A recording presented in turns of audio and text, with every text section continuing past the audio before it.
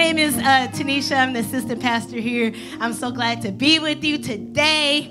I'm excited about the word, I'm excited about what God has for us. So let me just pray. God, we thank you. Thank you for this time. It's your word that washes and cleanses us.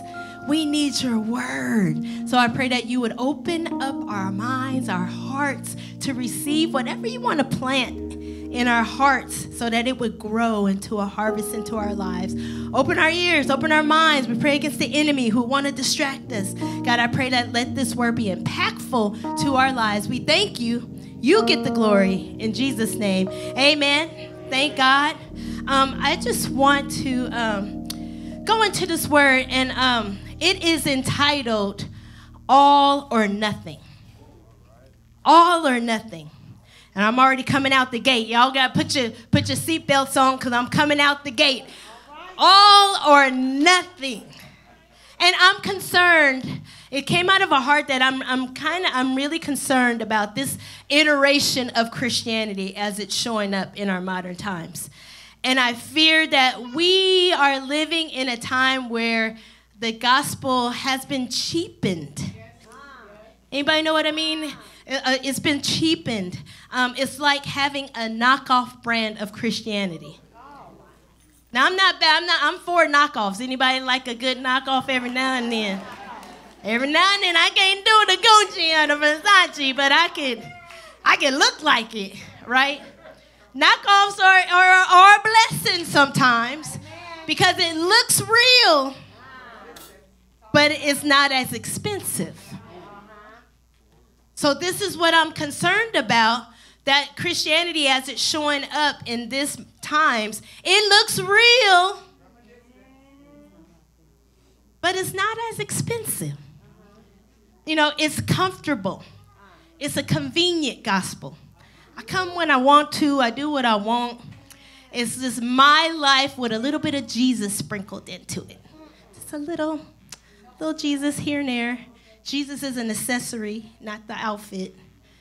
You know, Jesus, I'm, I'm just concerned. Um, there is a, um, a quote, I don't know if you've heard it before, but it says, Salvation is free, but discipleship will cost you everything. I want you to think about that. Salvation is free to all, free to all. But if you want to lean into discipleship, now that's going to cost you.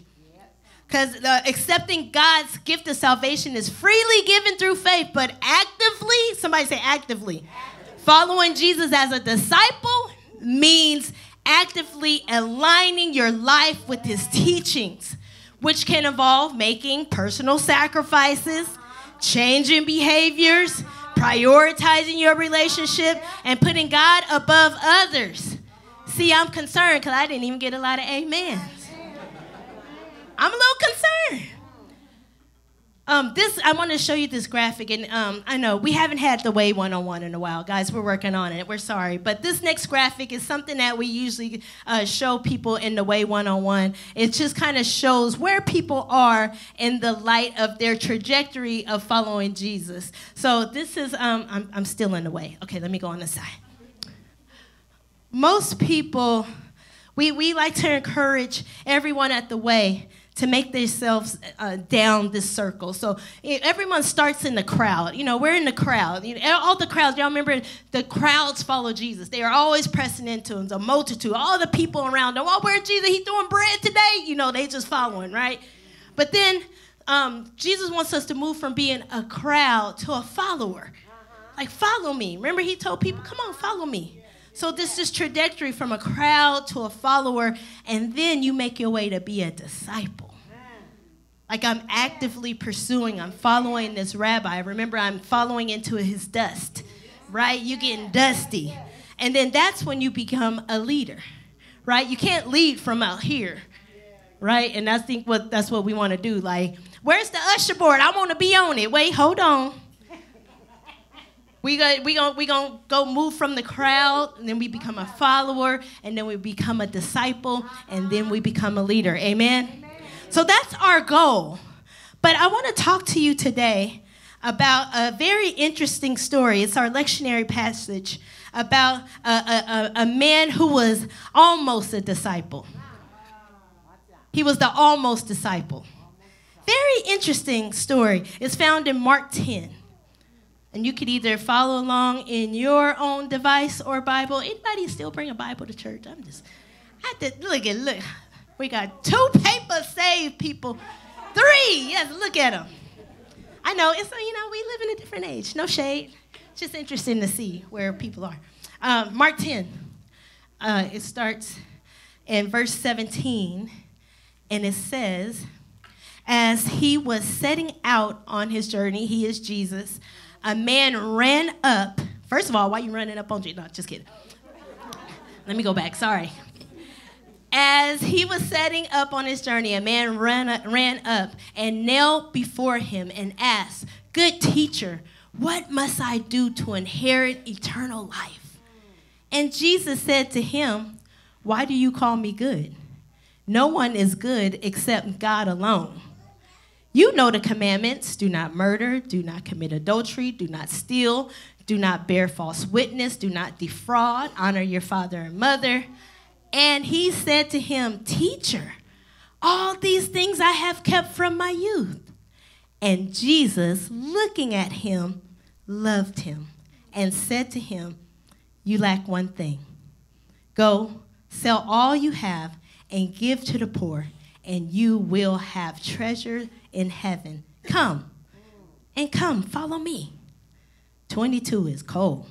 Disheartened by the saying, he went away sorrowful, for he had great possessions. My God. 23. And Jesus looked around and said to his disciples, Boy, how difficult it will be for those who have wealth to enter the kingdom of God. And the disciples were amazed at his words. But Jesus said to him, Again, children, how difficult it is to enter the kingdom of God. It is easier for a camel to go through the eye of a needle than for a rich person to enter the kingdom of God.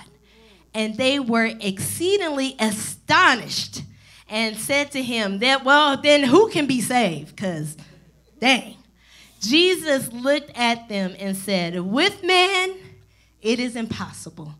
But with God, everybody said, all things are possible with God. Amen. May the Lord bless God's holy word. Now, somebody already panicked. I, I can feel it. Say, oh, Lord, Jesus don't want me to have no money, Lord. I already felt it in the room. Like, what you mean? Jesus don't want me to have no money? What am I, what am I working for? All these things, these sacrifices. Um, um, can someone close that front door for me? Um, but th- this is this story is much deeper, much deeper than money. It's much deeper. We think that this story is all centered around this man, his wealth, but I want to submit to you that this story is much deeper than money. All right? Let's take a journey and talk about it. This rich young ruler, he intrigues me. I was very I thought about him all week. I'm very intrigued by this young, rich young ruler. Just by his name alone, described who he was. First of all, he was rich, right? But look at his name. He didn't. They didn't even bother with a name. Like his name is Rich Young Ruler. Rich. That means he had money. He balling. He got she shot calling. He doing all the things. Wearing the best robes. Probably had a chariot. Yeah. He's rich. He has money. The next thing, he's young, which is impressive. Okay, he's rich, he's young, he's a ruler. That means he's a boss. He out here calling shots, like telling people what to do, right? This is the epitome of what winning looks like in our society. Isn't this what all the commercials are about? Especially for us ladies, we want they want us to be young forever. Use this cream, that cream, this mask, this, cause I'm just supposed to be young forever.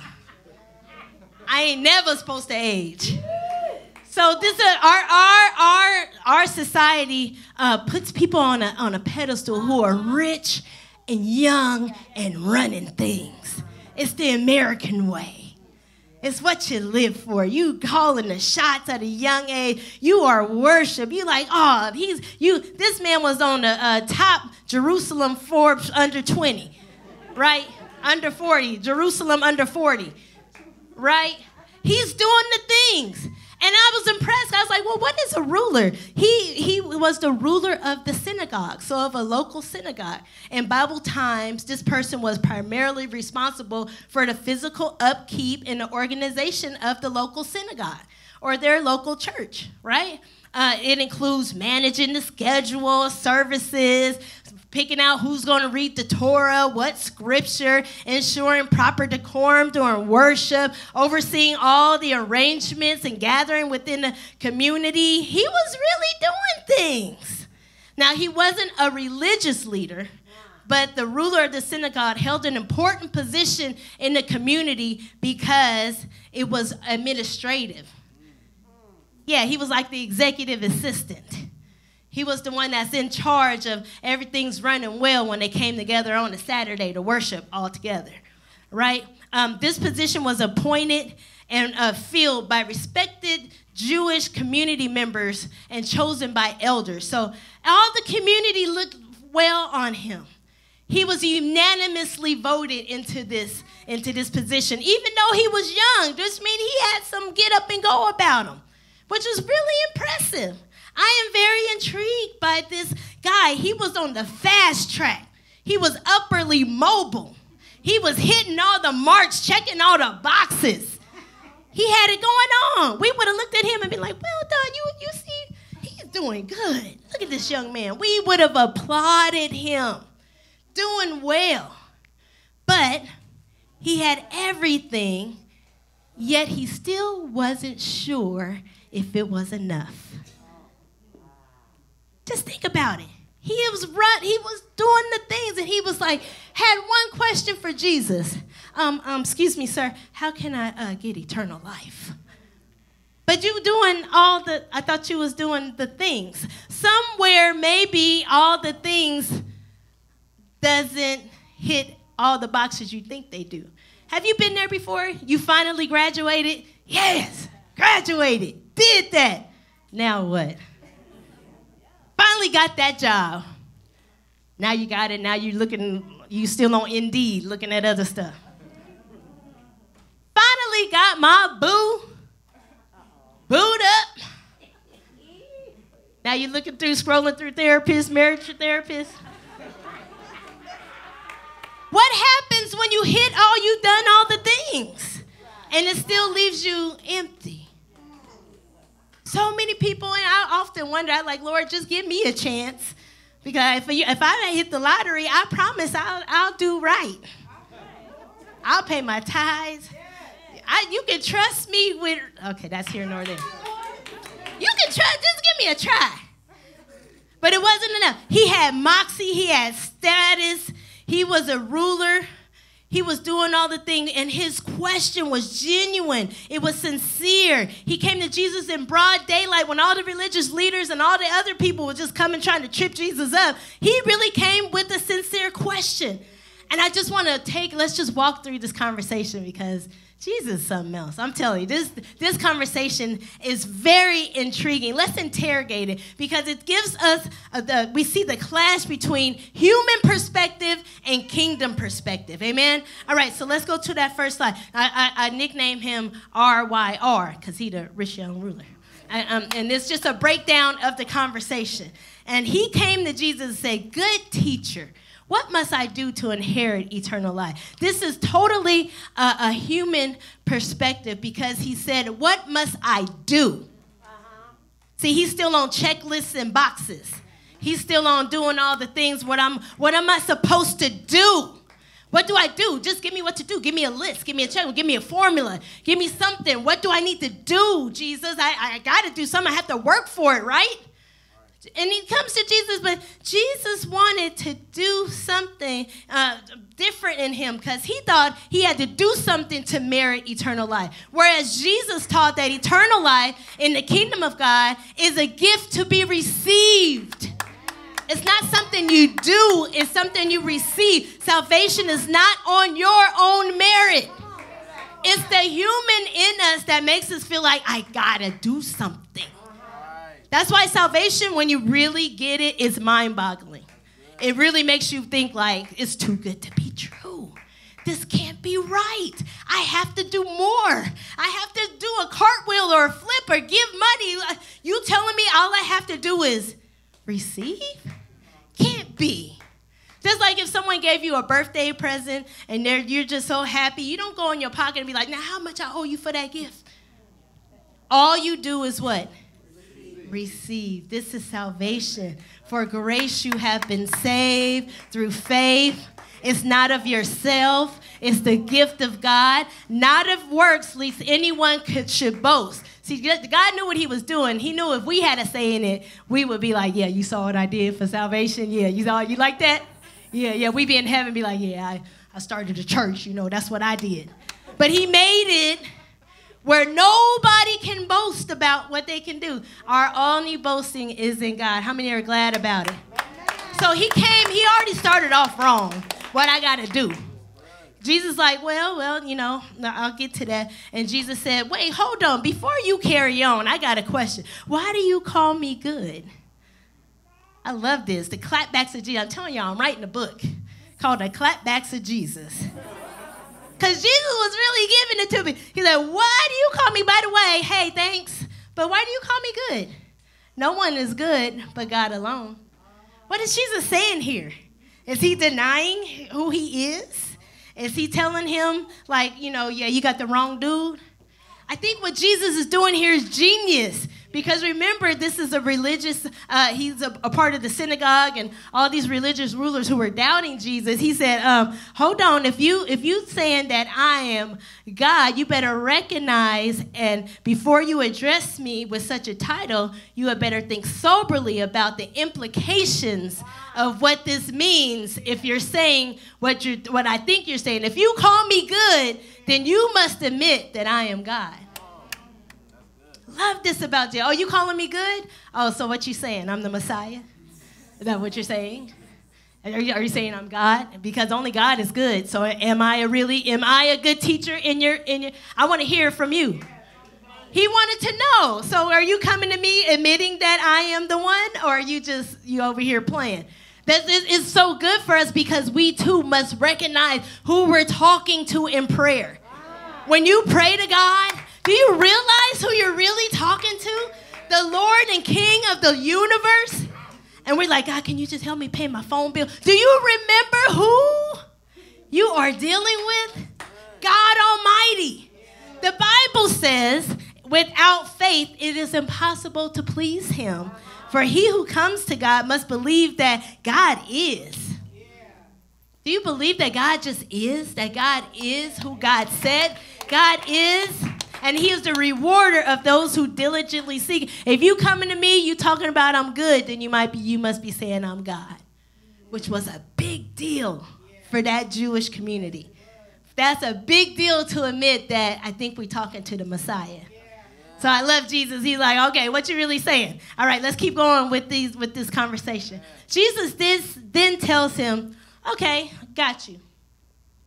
You coming to me, you want to inherit eternal life. Okay, bet. You know the commandments. Don't murder, don't commit adultery, don't steal, don't bear false witness, don't defraud, honor your father and mother. Bam. At first, this seems like, hey, Jesus, what you doing? That's the wrong answer. Anybody ever, did you read this and be like, Jesus, what, what you doing? That ain't the right, that's not the right answer. That's not how you get eternal life. Is this how we get eternal life? By following rules? Did Jesus misspeak? I was like, Jesus, what we doing? Why are you telling that man this? Or was Jesus telling him, uh, indeed, this is the way to show him that the law can only take you so far? The law can only take you so far. You did all these things. Okay, let's see, let's see. Let's see. You did a, and he said, "Oh yes, teacher, I have kept all these from my youth." It's giving goody two shoe vibes is giving overachiever, is giving A type personality. It, it, feels like he's the kid who will remind the teacher that the homework is due. Y'all remember that kid? Y'all on your way to recess and they, I'm Miss Jenkins. You remember that one kid? That's what he's giving me. I've done all the things he said. And he might be right. As a Jewish boy, when he turned 13, he was responsible for living out God's commandments, but keeping the law was just a matter of external conformity. It was just for show, really, to see where he, uh, Jesus was kind of getting deeper to his heart. He's like, Yeah, I did all that. Checked all the boxes. Have you ever felt like that? You know what? I'm doing all right. I'm not like them. I'm not like my cousin and them. I'm not like my family used to be. Anybody ever just did a, a, quick little analysis of your life in comparison to those around you and you figured out that I'm doing all right? Given my circumstances and given my trauma and the stuff I've been through, I've been, this is how he felt. You know what, Jesus? I've, I've been doing stuff. I've been reaching the, the goals.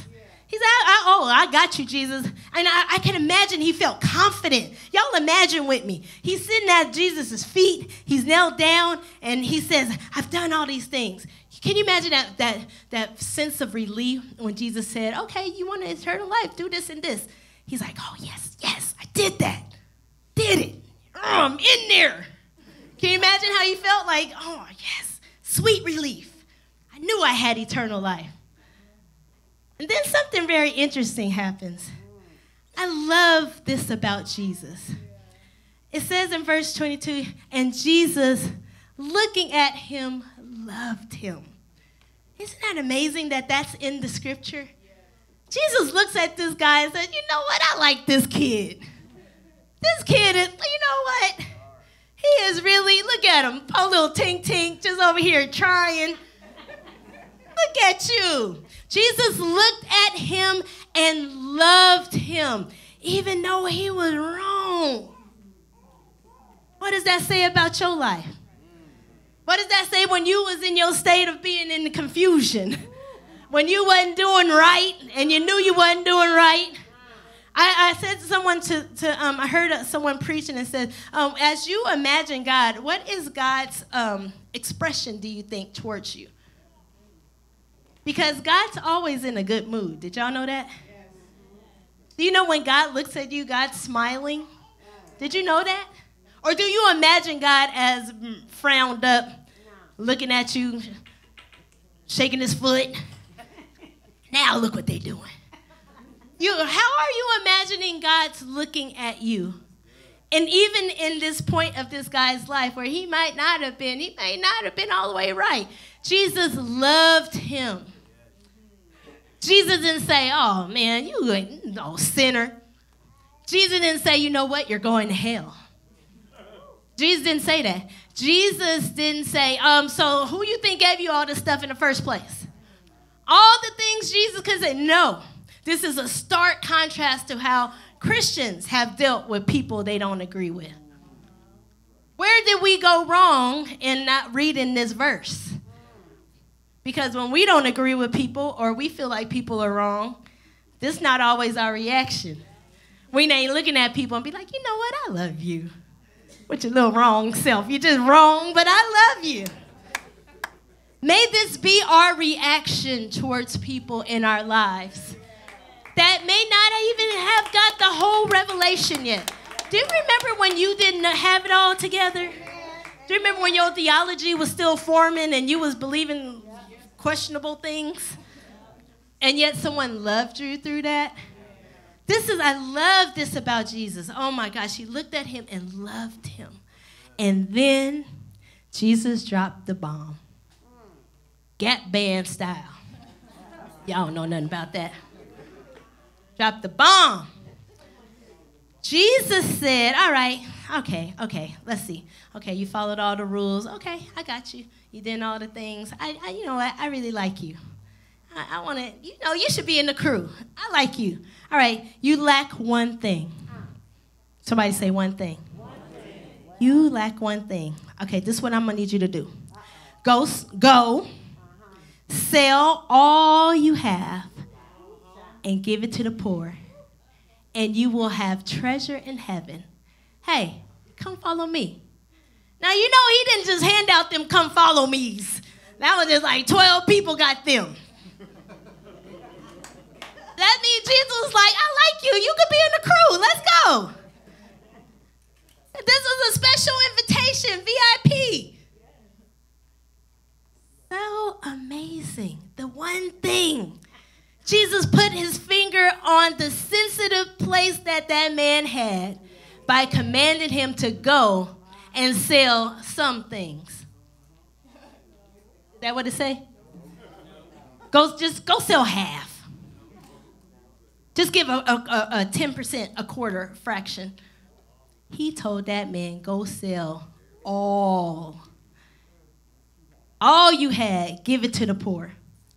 Because you know we're, we're, we're blessed to be a blessing, not blessed to be a hoarder.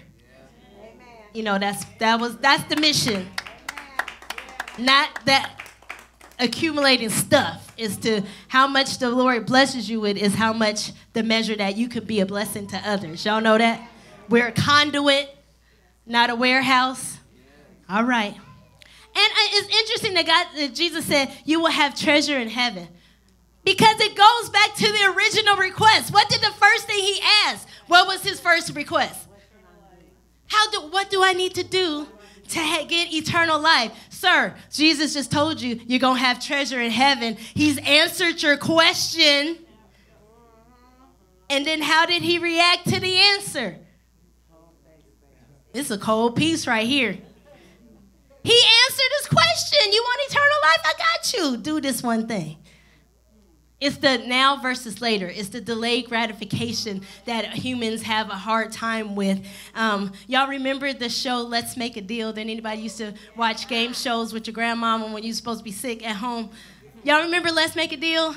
And it was always that point of angst when they're like, you have $2,000 in your hand right now, or you can give it all away for what's behind door number one. You remember they're like looking at the audience like, I don't know what to do. You know, remember that? And then you remember when someone was like, nah, yeah, I'm, I'm gonna keep the money, I'm gonna keep the money, I'm gonna keep the money. And then they open the door like, you could have had a trip around the world, you know, like something amazing. And they're like taking their little money and being sad and go sit down because they missed a full house of appliances. I don't know, it used to be a whole thing. It was a whole thing. But with God, it's not a bait and switch in this in this scenario. God's not offering you something just to trick you.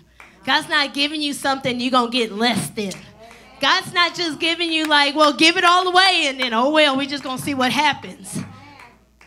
Jesus is always giving you more than you can give Jesus. Jesus always outgives us.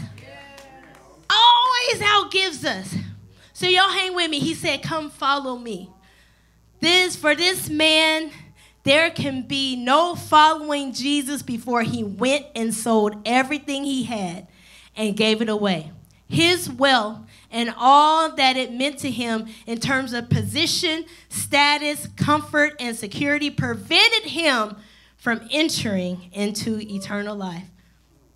My God, what is your one thing? We all have a sensitive place. For him, it was money. But what's yours? Because it's easy for us to look at him and be like, mm-mm, that's a shame. I don't know why he did that. But what's yours? What's mine? Is it comfort? You know, we worship comfort. We need comfort. I just gotta be, gotta be just right, just right temperature, just right. They gotta not too much, not too little. You know, is it is it status? Is it your influence? Is it power? Is it your reputation? Is it intellect? What is your one thing? I want you to think about it because this is what sets disciples apart from crowds. Please hear me. The real cost of following Jesus is truly all or nothing. I want you to think about this cashing out completely. Jesus, I'm all in. I'm sold out. My mind is made up. Why? Please hear me. Because Jesus is the prize. Do y'all understand the paradox in this? Jesus is the prize. When you sell all out, all these temporary things, we gain Jesus. And I'm also, I always wonder is Jesus enough today for people? In this modern iter- iteration of, of Christianity, is Jesus truly enough? Because if you knew the Jesus I know, when you get to know Jesus for yourself, Jesus is the prize because there's the only place you're going to find purpose. In Jesus is the only place you're going to find peace that passes understanding, a joy that's unexplainable. See what you, you what you get in Jesus. It's something inter- internal. It's something you can't buy or you can't sell. Jesus is the prize. Uh, in, in Matthews, it says, No one can serve two masters. It just keep hitting us with right hands and left. Come on. No one can serve two masters. Even you, either you will hate one or love the other. You'll be devoted to one and despise the other because you cannot ser- serve both God and money. Can't do it. I know I told you it's more about money. There's more than money. But let's get back to money because it's not always the material money. Sometimes we're rich in other things. We're so rich in ourselves of our own opinion. We're rich in our own viewpoint. We're rich in our own intellect. And you can't have both. I'm talking about real Christianity. I don't I don't even mind if it's quiet today because these are things that we need to ponder if we're not going to have a cheap iteration knockoff version of being a Christian, uh, yeah, it's going to touch you. This one, this one going to touch you. This is a pattern that Jesus uh, uh, had throughout his whole ministry. Y'all follow me on this.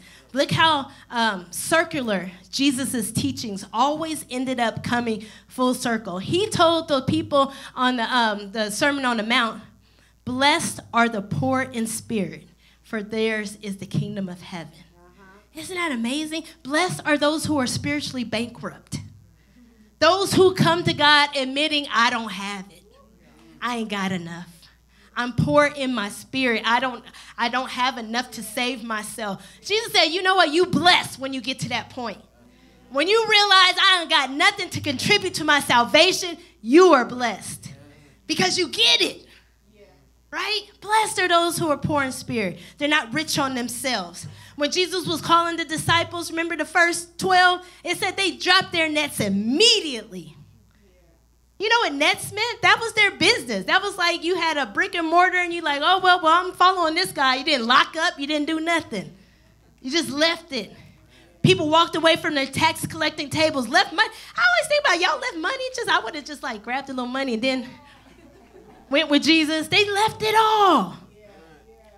This is the one I love. When Mary, y'all remember when Mary anointed Jesus' feet with the alabaster box? We love the song. You don't know the price. We love that song, right? But he said of Mary, check this out. Truly I say to you, whenever the gospel is proclaimed in the whole world, what she has done will be told in memory of her. I'm often sad that we don't talk about Mary enough because Jesus said every time we talk about the gospel, we're supposed to be talking about Mary, but it's even deeper because we're talking about what Mary did. When she broke that alabaster box, she gave all. There was no unbreaking that. She didn't just be like, ah, God, Jesus, I'm going to give you about five drops, and that's about it. You can't, once it's out the box, you can't put it back in. She broke it completely. This is what the gospel is. This is why he said everything she does, it's always going to be told around the world because this is real salvation. Giving all, breaking it, pouring it out until where I can't even get it back. It's already out there now. This is what Jesus was talking about giving all. Somebody say all. all. Jesus didn't just give a piece of himself. He didn't say, y'all could just, I'm just going, y'all just cut right here and I'll give my part of my arm. Jesus didn't say, hey, you know what, I'll just go in a coma for y'all and then y'all gonna be all right. I'll give you a foot. No, Jesus gave what? I love the description of God. It says, Our God is an all consuming fire. You know what that means? That, that means you don't just get a little bit in the fire. When it comes to God, He takes it all. Y'all remember burnt offerings? Come on, y'all walking with me. Burnt offerings, you had to give the whole thing was consumed. Our God is like that. Jesus wants it all. Somebody say all. I'm glad it's quiet because we should be thinking. We should be thinking about our all. Thinking about what does it merely mean to be a Christian? Did I just come? Do I just like coming to church? Because it's like I can say I went to church and I feel good about myself for the week. Did I just say a prayer? They, they told me to say a prayer. I just said a prayer. Do you, do you, you, you, this is this is tough. This is tough. This is tough sayings, right? I, I, now I didn't expect the reaction we got from Mr. I follow the rules. I didn't expect that reaction. Remember, he said I did all the things. Uh, it turns out that at when he heard this, his face fell. This is what you used to get a whooping for when you was if you grew up in a in a black household. What your mama tell you? You better fix. Oh yeah, his face was broke. This is, he would have clearly got a whooping from his mama because his face was all the way broke. At this, the man's face fell and he went away sad. But why was he sad? Because what? He had. Now, I, I have a, a, a graph of the Ten Commandments. Put that up really quick. He said he followed all the rules, but can y'all point out which rule he might have broken just in that moment? Say it out loud. Yeah. Yeah. Yeah. How many say one? You shall have no other gods before me. Mister, I follow all the rules. And then two, what? You shall not make idols. Yeah. I thought I thought you had it all together, brother. I thought you said you followed all the rules. And yet we see you putting other things before God and making other idols. I love this one commentary wrote about this exchange, and he, it's as though he's saying, Anything else, Lord, anything else thou shalt have and welcome, but just not that. Not that. And Christ says, That and nothing else. I must have it. If thou art to follow me, I must have it. So he walked away sorrowful. Now, this man was clearly lovable and eager and full of zeal and sincere, but we can be sincerely wrong. And he couldn't face the cost. Yet, I want you to listen to this Jesus would rather lose a possible follower than to lower the standard for him. Indeed, there was no other possible standard. So the man went away sad from Jesus, and we don't hear from him anymore.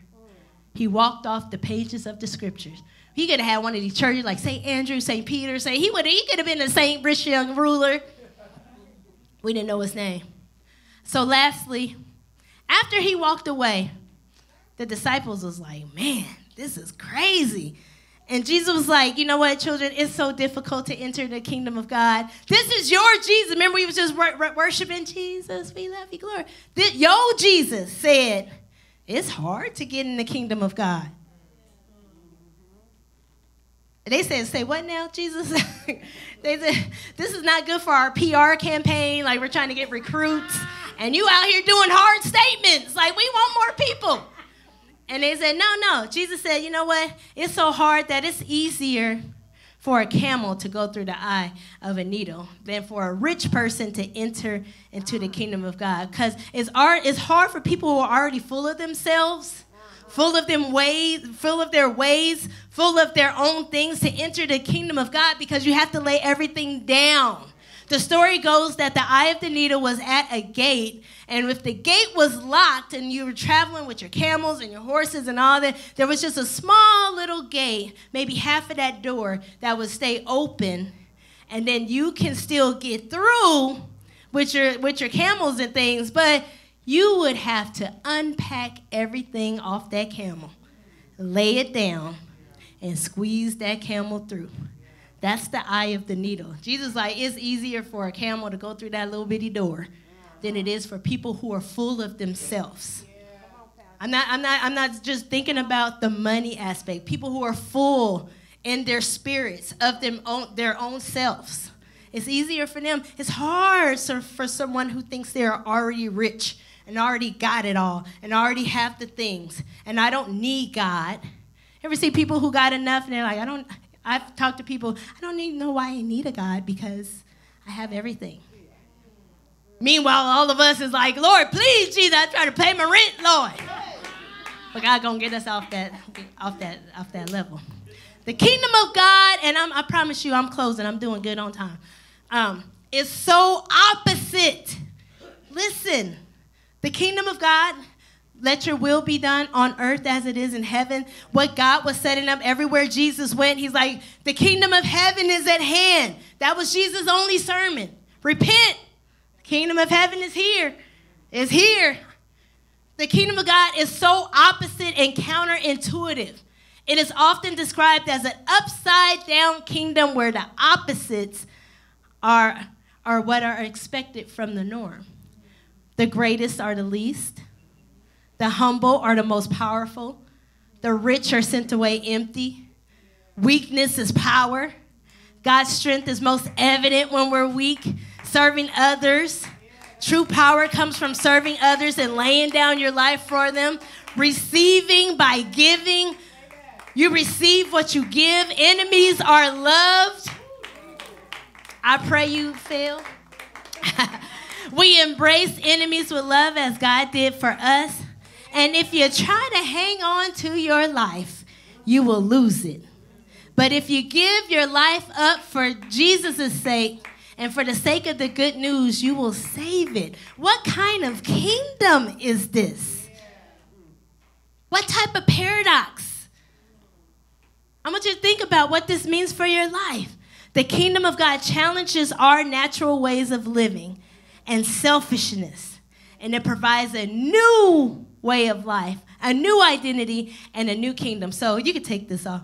The um, disciples said, they were astonished. They sitting here like, what do we sign up for? They said, now, Jesus, now this is ridiculous. Now, who can be saved? Now, this is too much. Now, who can be saved? This is too much. How? So, I don't get it. How do we even get here? And Jesus says something so great. He's like, you know, with God, with, with man, it's impossible. It's impossible because it's counterintuitive. This is not what we, this is not how we think. This is not how we operate. We looking out for us, me, myself, and I. Right? But he said with God, it, it's possible. With God, all things are possible. Jesus pointed to the solution. He makes it clear that salvation is totally a work from God. Apart from the grace of God, it is impossible for anyone. Do y'all hear what I'm saying? This is why we worship. This is why we say, hey, lift your hands. This is why we're like, hey, won't you give God a praise? Because aside from Jesus, it's impossible. All those rules, I probably should have kept it up. All those rules, people are trying so hard to keep these rules. I gotta keep, but those rules, those Ten Commandments were just a mirror to show you that you can't do it. You need a savior. Did, you, did y'all understand? And until you get to that place of depravity, I am poor in spirit, I can't do it, that's where your salvation begins. If you keep coming like, well, I'm pretty good. I don't know. I'll come to church when I feel like it, you know, because you know I'm doing good out here. You ain't, you ain't, you ain't, you ain't into the kingdom of God yet. You getting close, but you ain't there. This is how you enter into the kingdom of God. The big takeaway, and I'm done. This is the big takeaway. all that said and done, thank you, Lord, for this example, how you dealt with this rich young ruler. We've all been a rich young ruler, amen? Big takeaway pray for the grace to hold possessions lightly. This is what we, this is the takeaway I want you to walk away from.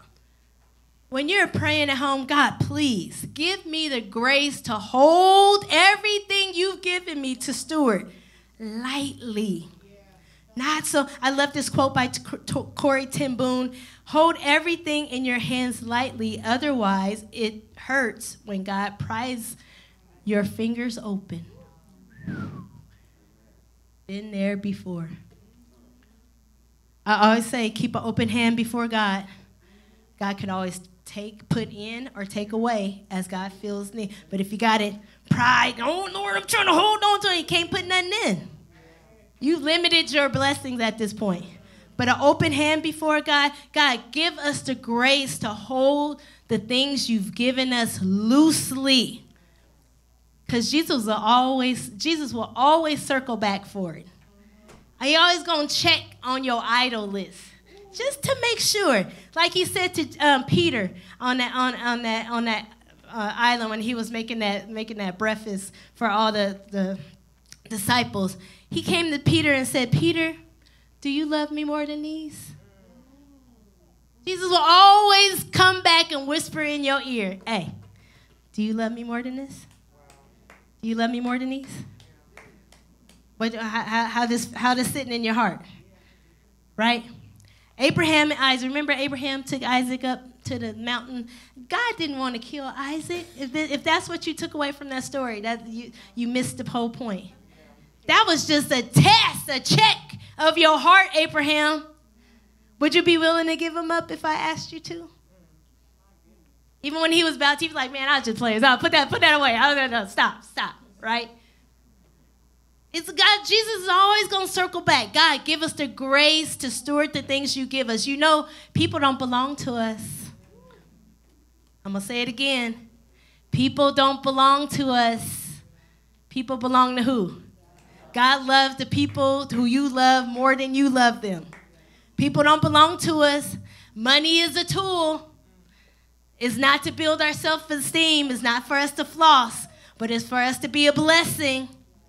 Lord, teach us fluidity. We just need to be able to flow in God. Ebbs and flows of life. You can take it, I can leave it. It doesn't matter. I'm content with Paul said, I've learned the secret of all. I, I don't know about y'all. I've learned the secret. No matter if I'm up or down, rich or poor, I can do what? All things, all things through Christ who's striven. That's what that, that chapter is talking about. It's not talking about running a marathon, even though you can in Jesus' name. But Paul said, no matter what the situation, I'm content. I'm content. I've learned the secret. Last thing. Don't let your possessions possess you. This is the key. Don't let it have you. You can have them. God's not saying, we're not saying go sell, you know, that was that man's assignment. We take and be like, see, Jesus want us to sell everything. Well, that's not, was, you think that was a universal principle? Or was he talking to that guy for his thing? But what is God telling, talking to you about your thing? Right? Will you go? Will you, will you, Will you not let these things control you? It says in Luke, be on the watch out, guard against all types of greed, because life does not consist in abundance of possessions. My God. That's the word of God. Ask yourself, am I finding security in the amount of money in my bank account? Things to ponder. Am I finding a false sense of confidence in a relationship, job, or position? You like giving out your business card? Like, you, you know I'm working over here. Right? I, I have I put too much trust in the things of this world to provide me stability and security? Are the things in my life, are there things in my life that if they disappear tomorrow, my hope would go to? If God was like, yeah, I need that back, would you be able to go on? Or would you just, that's it, God, just take me now, Jesus? We could barely do coffee. No, no coffee. They ain't serving us. Let this, let this not be no coffee here in the morning. Do you see how the saints go to acting? We ain't got no coffee. No, I'll be back. Y'all going down to Target.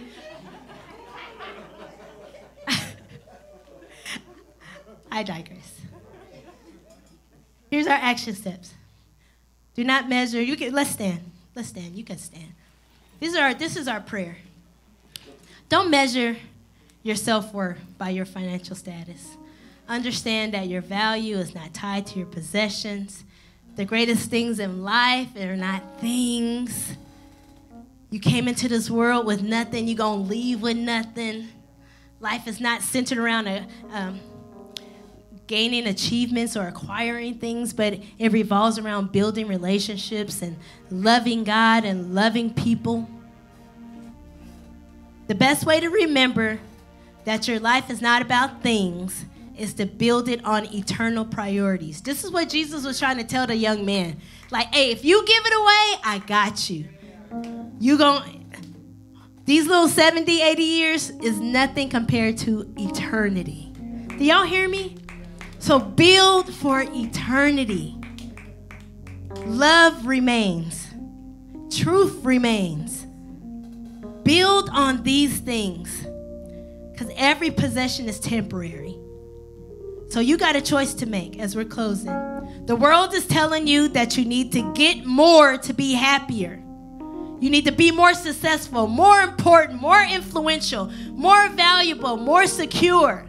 But you have to decide am I going to listen to culture or I'm going to listen to Christ? Am I going to listen to the world or the word? One will leave you dissatisfied for the rest of your life and one will make you truly happy. You can live a life without God. I love that Jesus gave him a choice. Do y'all appreciate that about Jesus? He didn't make him, no, you're going to be a disciple. Hmm. All right. God bless you, brother. Would have been great. I like to think that later in his years, he might have turned around and gave it all away. I just have that hope. We don't know what little he though he became a, a old a rich old ruler. Maybe moderately, moderately wealthy. I don't know.